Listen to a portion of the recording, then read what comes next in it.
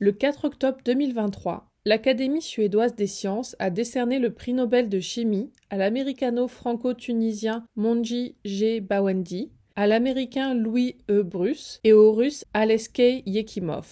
Ils sont récompensés pour la découverte et la synthèse des points quantiques ou quantum dots en anglais.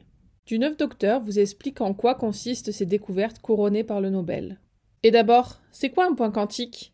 Un point quantique, ou boîte quantique, est un cristal composé de seulement quelques milliers d'atomes.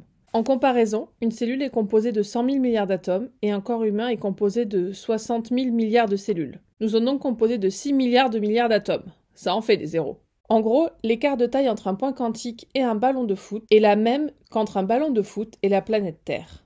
À quoi ça peut bien servir un point quantique? Les points quantiques se retrouvent dans des objets du quotidien, tels que certains écrans plats ou dans des cellules photovoltaïques sur des panneaux solaires. Ces points quantiques servent également dans l'imagerie médicale par fluorescence. En gros, les points quantiques sont utilisés dans les technologies utilisant les LED.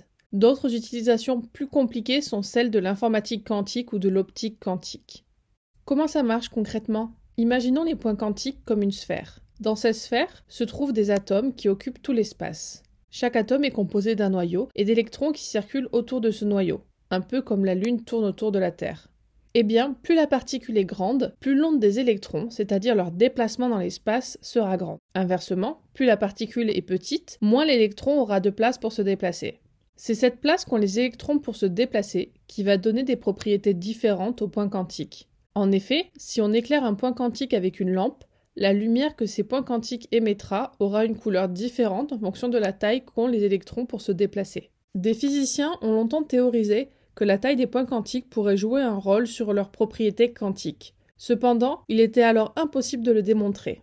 Dans les années 1980, Dr Aleskei Yekimov réussit à créer du verre dont la couleur changeait en fonction de la taille des nanoparticules qui le composaient. Ce fut la première démonstration que l'effet de taille des points quantiques était réel. Quelques années plus tard, Dr Louis Bruce fut le premier à démontrer la même chose, mais cette fois-ci avec des points quantiques flottant librement dans un fluide. Finalement, en 1993, Dr Mungi Bawendi a révolutionné la production chimique des points quantiques, permettant la production de particules presque parfaites. Sans cette qualité de particules, leur utilisation était très limitée. Grâce à ces découvertes, les points quantiques ont pu être utilisés pour différentes applications. Cependant, l'étendue de l'utilité des points quantiques reste encore à explorer.